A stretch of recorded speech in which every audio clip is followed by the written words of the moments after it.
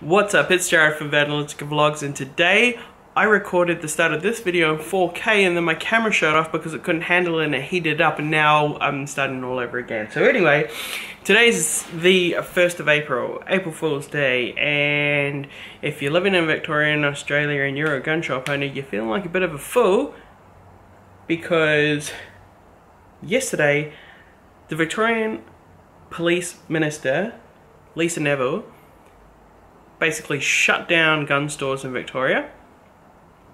And she put out a little video uh, outlining the reasoning behind it. And it's hilarious.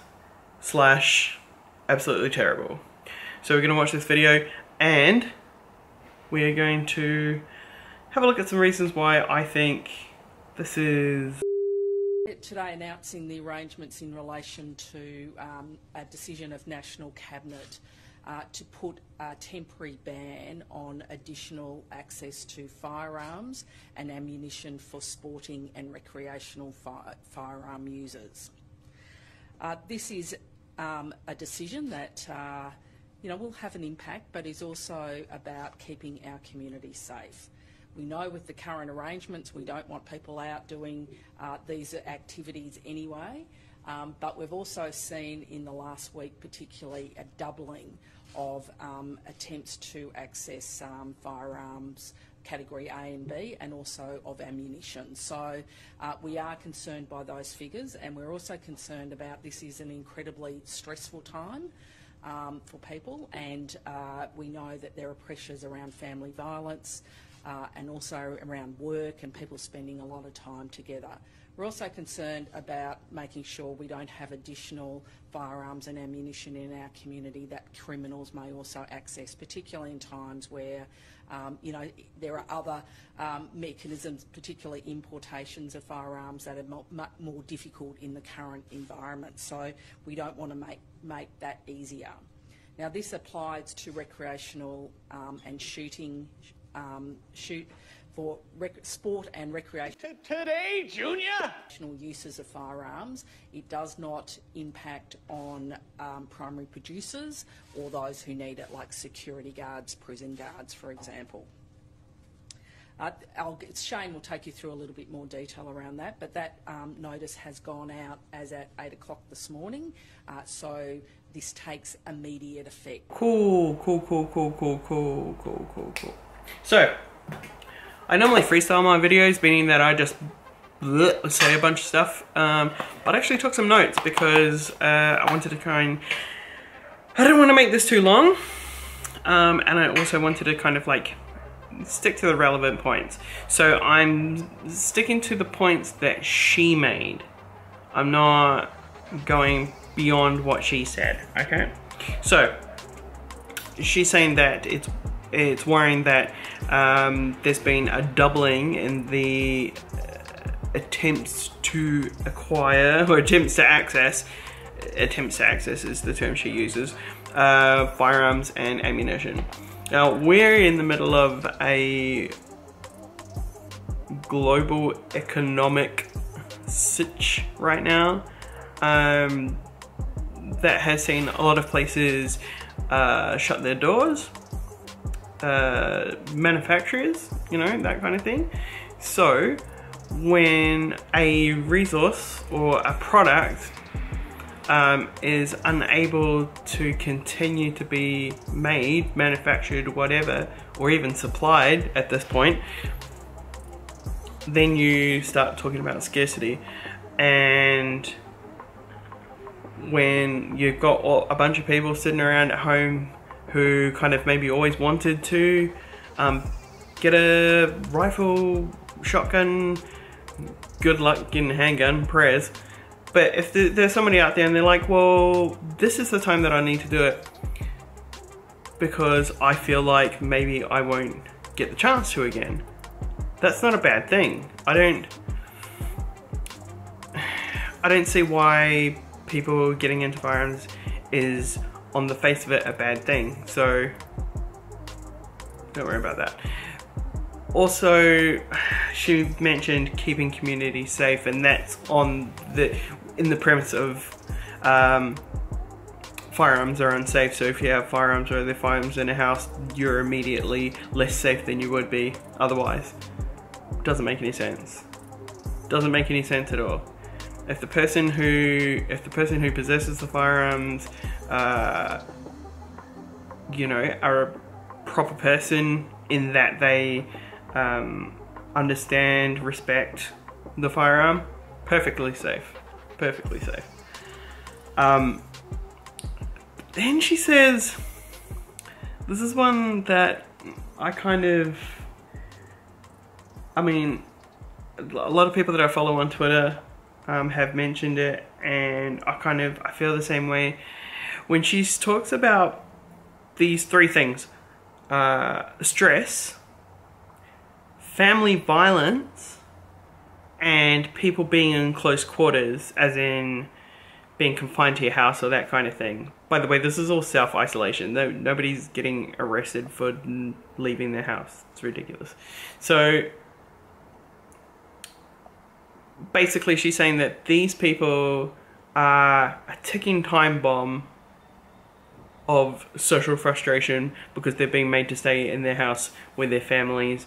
This is inevitably, inevitably going to lead to um, an escalation of uh, domestic violence in the country and killings by by firearm because that's a reasonable and rational thing to say about a community.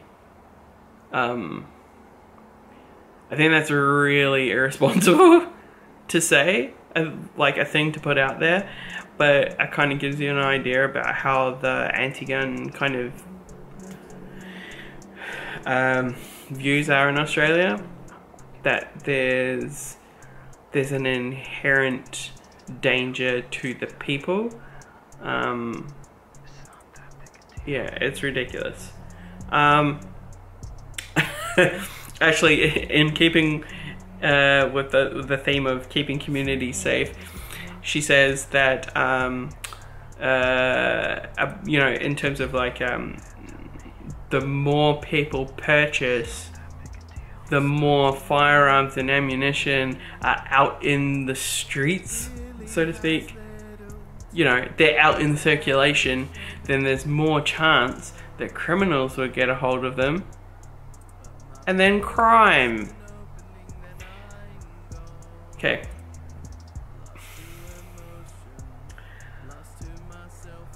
It's ridiculous.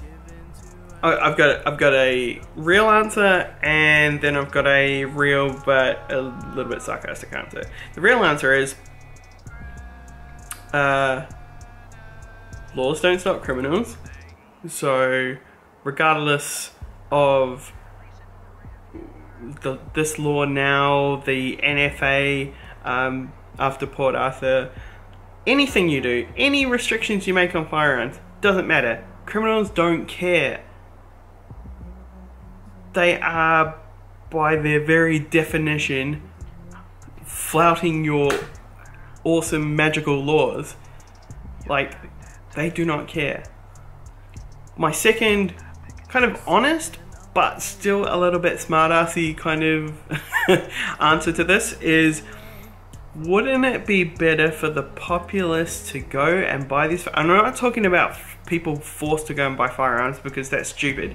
If you're too scared to engage with something like that, then it might be better that you don't, or get some training and whatever. But wouldn't it be better for people who wanted to purchase these firearms and ammunition to go and do so and thereby spread out the ammunition and firearms across your state rather than one centralized place which you yourself have forced to close making it basically just there for the picking.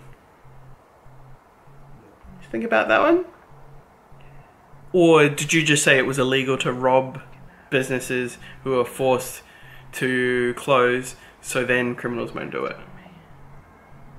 What a goose. Um, yeah. It. The thing that really gets me is that I don't understand how this is relevant to what's going on with the sitch. Like, it's just like, ooh, it's a good idea. I've been wanting to do this for a while.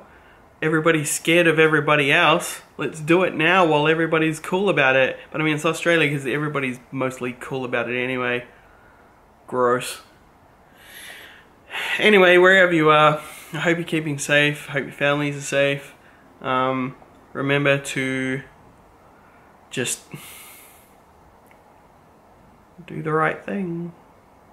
Do the right thing. If you ta- touch your hands and face, touch your hand. if you touch your hands to your face, eyes, nose, whatever, sanitize them. You won't see me doing that because I basically live by myself, so it doesn't really matter. Trust me, I work in a hospital now. I am 33% hand sanitizer at the moment. It's ridiculous. Uh, speaking of which, this is probably my last week of work, so I might actually start making videos again. About what? I don't know. Uh, playing chicken with the cops outside and see if I can get out of my house for 25 seconds before I get arrested or shot. anyway, God bless. Look after each other and yourselves, and I'll see you in the next one. Bye.